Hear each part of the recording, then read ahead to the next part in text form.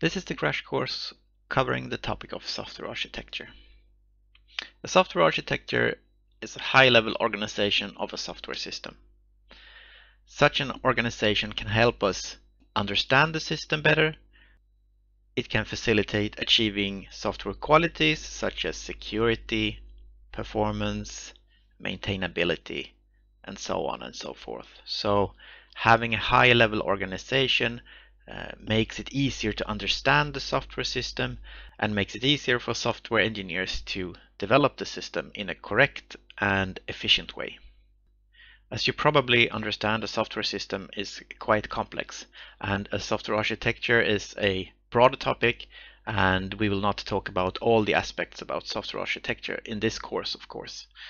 Uh, we are focused on the source code and the development we will actually focus on the so-called logical and development views. You can look at a software system from a process or hardware points of view also and and there are many other views to consider but we will take a look at uh, the logical and development views so we will focus on the source code and possibly on the external libraries and components that you uh, use to develop your system the idea is that we should be able to use uh, developers and expert efficiently. So if we are many developers, we need some kind of division of the system so that we can uh, focus on our little part and let that part be uh, easily integrated into a larger whole.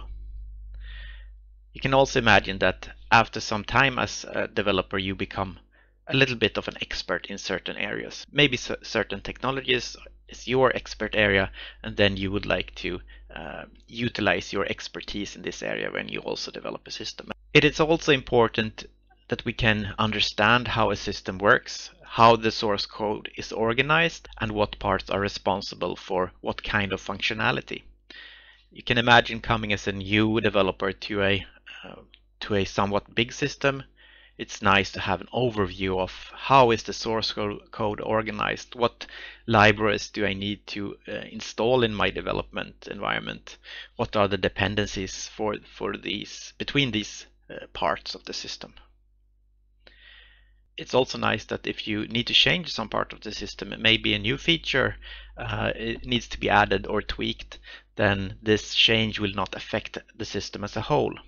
Another advantage of having a nice structure to your software system is that uh, when a bug report comes in, it's often easier to find the root causes. So all of these advantages uh, can be summarized almost in the word modularity. We want our software system to consist of well-structured modules that are connected in a clear and concise way to other modules so that we can keep a control of the system. And this makes it easier to, for example, reuse a module, test the module in uh, isolation and all of these continuous practices that we want, for example, continuous deployment and things like that. To some degree, modularity can also uh, help in uh, understanding performance of a system and assuring that it's uh, secure. The basic notation we will use for this in this course is the UML package diagram. Also having text descriptions is not uncommon. Can here see a small example of a package diagram showing a quite common uh, division of a system. At the top we have a user interface. This depends on some business rules, which in turn depends on some data module that maybe uh, loads data from a database or something like that. So notation is not that hard again. Uh, the problem is of course how should you create and organize these uh, modules or these parts of the software system? And the simple answer is to use uh, existing knowledge and experience. Especially as new software developers, you don't have a lot of experience of large systems in different types of domains. So it's good to know what has already been done and, and what works and what works less well. And the absolutely easiest way to use a software architecture in your, in your application or system is to use a framework. A framework is simply a skeleton design and implementation. In this case, you don't really need to invent the software architecture yourself. It's already there. This makes uh, frameworks quite easy to use, especially if they're suitable to your problem, to your system. As they are large, they are they often uh, entail a learning curve, so you need to spend some time in understanding how this framework actually works and how things are to be done. They are often quite specific, and this means that they are often tailored to a specific type of platform, for example, a web framework, uh, or a, type of problem, a specific type of system that this framework uh, is good for. So frameworks are the easiest uh, solution to this problem, if you can find one that is suitable. The next level is to use a pattern. A pattern is simply an abstract problem, so a problem that is described in a quite generic way, and an abstract solution. That is the solution to this problem described in a generic way. Using a pattern is uh, often quite easy but you need to make suitable choices yourself. So you need to adapt this abstract solution into your concrete solution. And that, of, of course, uh, entails some work. And you need to implement this. So uh, patterns often come with examples, but you need to implement and make this specific solution uh, that is suitable for your needs. So maybe a little bit more of design work. It's not ready to go, so to speak. And last, we have uh, principles. And this is more of a loose description of an approach that is generally seen as good or as a standard in that in, in certain types of uh, systems. Principles are often quite easy to understand and motivate, but they can be hard to adapt to your specific needs, as you need to make a concrete design and implementation that builds upon this principle you can look upon this these three parts as a kind of like a pyramid that we have the principles as the foundation. Then principles can be realized in patterns and patterns in turn are often used in frameworks. So by understanding principles it is easier to understand patterns. And by understanding patterns it's easier to understand frameworks. So the uh, principle we will be using in this course uh, is the model view separation principle and it's a principle that's applicable to interactive software systems. That is a system that is used by a human, which is quite a lot of uh, systems. And the idea is that often user interfaces change quite frequently. So we have different types of technologies that change and this is probably not something that we in our software development company can really affect. So there are new APIs, new platforms, that uh, we need to support or our system risk becoming obsolete. Also, our different users may have different needs. Uh, for example, we can have different roles in our system and different user experiences. Maybe some user would like to have a really efficient command line interface and a more beginner user wants a graphical user interface for basically the same type of functionality. As said before, developers are often experts. Uh, programming a good user interface, especially a graphical one, uh, requires quite a lot of knowledge.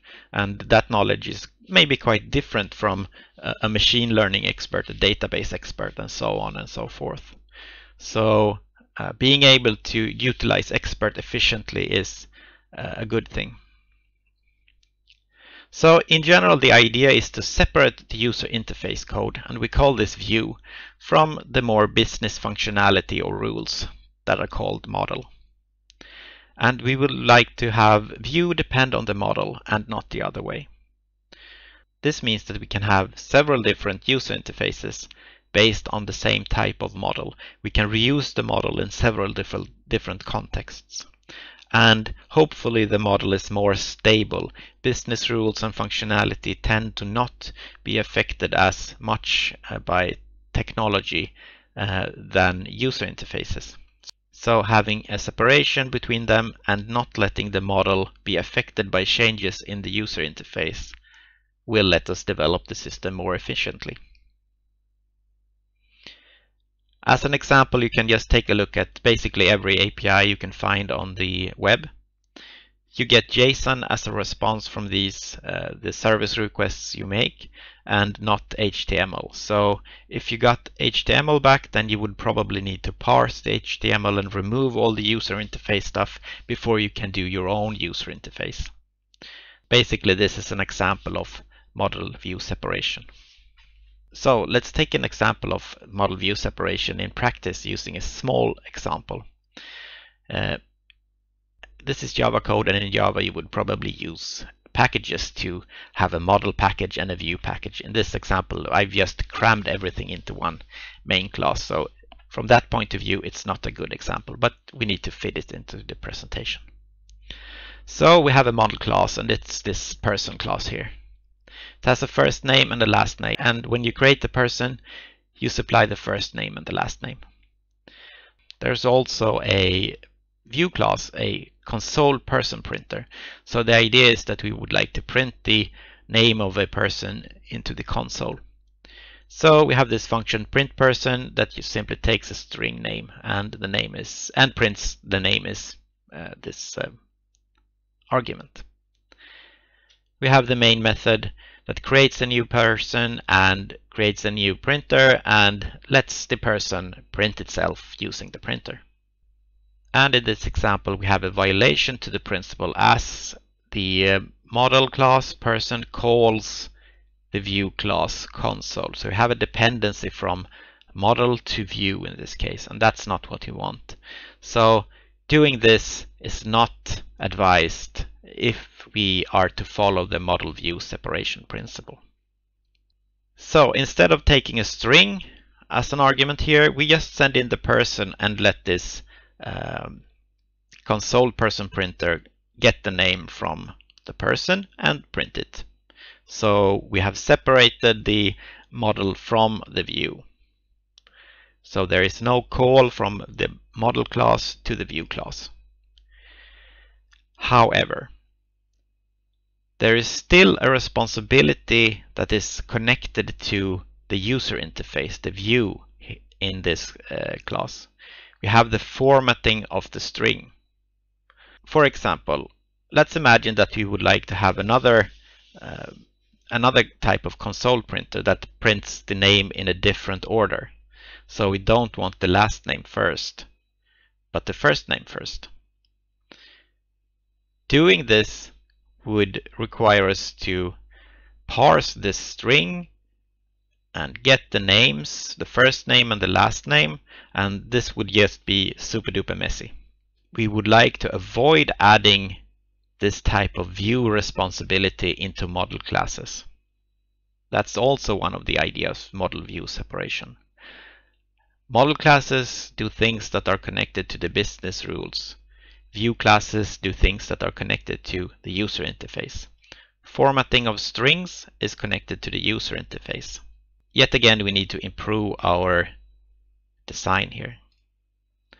And finally, the solution is to let the model class have functionality to return the first name and the last name and let the console printer decide on the order and the separation symbol used when it wants to print it.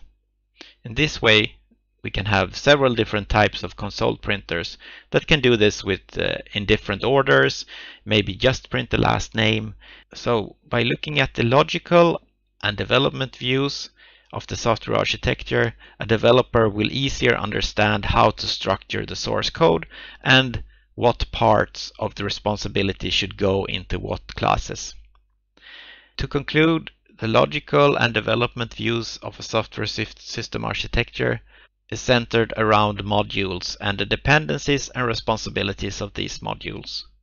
We would like to assign module dependencies and responsibilities so that development becomes easier and more efficient. To aid in this, we can use principles, patterns, or frameworks.